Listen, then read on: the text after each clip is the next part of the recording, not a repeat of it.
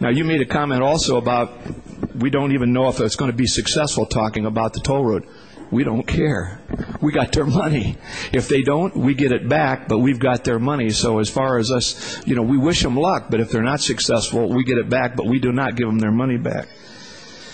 And when